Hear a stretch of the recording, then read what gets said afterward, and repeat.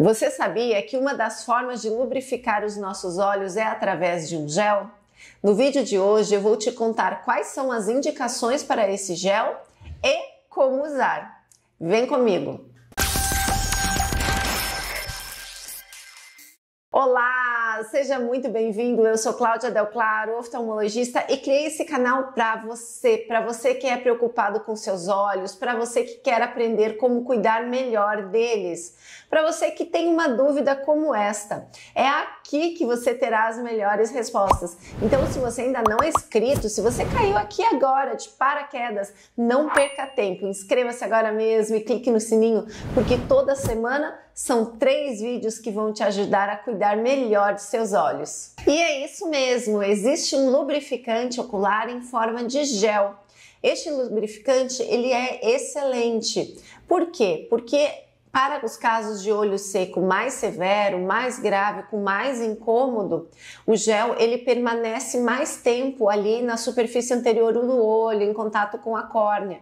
Então, o paciente sente muito mais conforto. Casos de ceratite, onde a córnea fica até machucada de tão seco que o olho está, o gel promove muito conforto.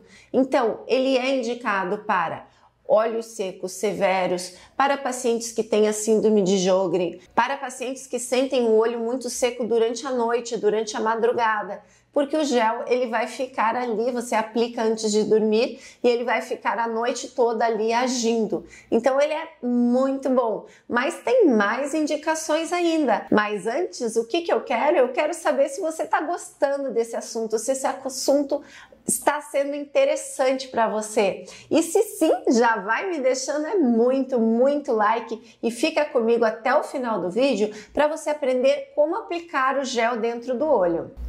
A grande diferença do lubrificante em gel para o lubrificante em colírio é que o lubrificante em gel, por, ele, por consistência em gel, ele acaba embaçando um pouco a visão. Então, para as pessoas que estão ali no dia a dia, no trabalho, querem pingar um colírio, sentem incômodo, querem lubrificar os olhos, ele fica difícil, porque você vai passar, você vai ficar um tempinho com o olho embaçado, vai atrapalhar um pouco a sua rotina. Mas no caso de você usar antes de dormir, ele é o ideal, porque aí sim você não vai estar enxergando mesmo e ele consegue dar esse conforto. Muitos pacientes que têm o olho seco, de fato, sentem o olho seco de madrugada, sentem aquele incômodo, às vezes não conseguem nem abrir o olho de tão seco que tá. E isso tem todo sentido, porque quando dormimos, nós não há aquela troca lacrimal.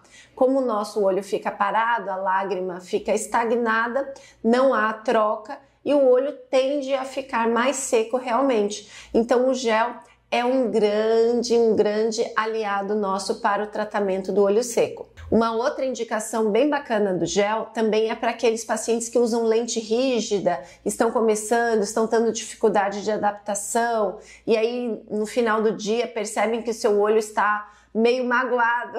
Aqui em Florianópolis a gente fala assim, o olho ficou magoado porque o olho sentiu um pouco o uso da lente, você sentiu uma leve irritação, um pouco de dor, desconforto. Aí eu dou essa sugestão para o paciente usar o gel à noite para sua córnea recuperar bem e aí no dia seguinte ele tá bom para começar a usar a lente de novo. E aí facilita bastante isso, porque ele não fica assim um dia usa, outro dia não usa. Ele consegue usar todos os dias. Alguns pacientes me perguntam: eu vou começar a usar gel, mas será que o gel arde no olho? Será que vai me causar alguma irritação?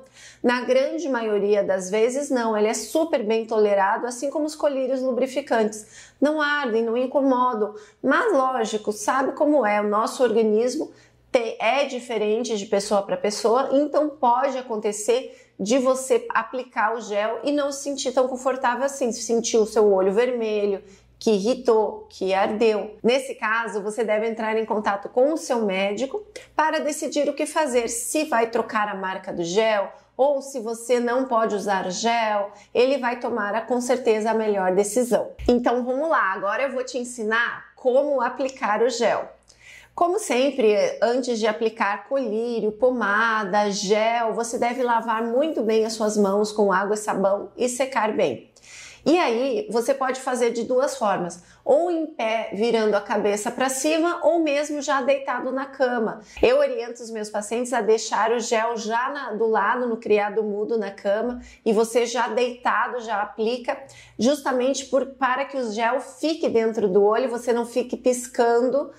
E aí, porque com certeza quando você vai piscar, ele vai sair um pouco. Então aí você vai puxar a sua pálpebra inferior, vai olhar para cima num ponto fixo e você, ele tem um biquinho fininho. Você vai passar de uma extremidade da sua pálpebra até a outra, sem encostar no olho.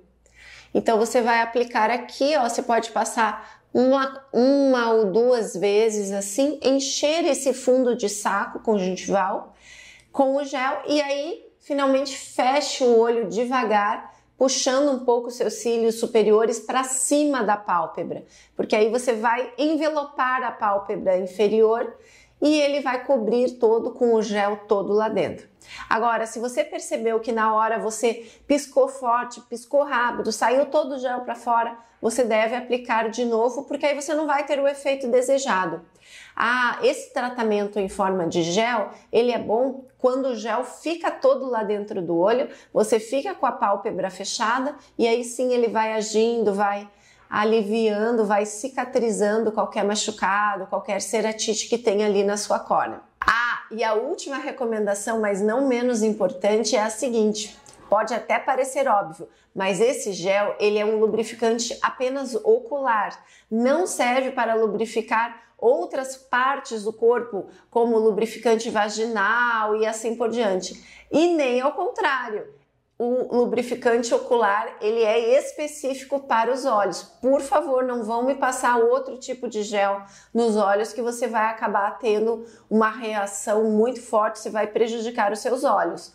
Ok? Entendido? Gel lubrificante ocular é apenas para uso ocular.